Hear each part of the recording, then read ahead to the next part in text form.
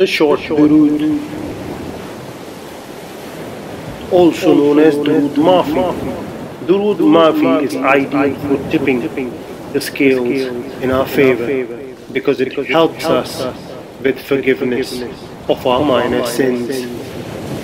اللهم صل على سيدنا ومولانا محمد وعلى آله وسلم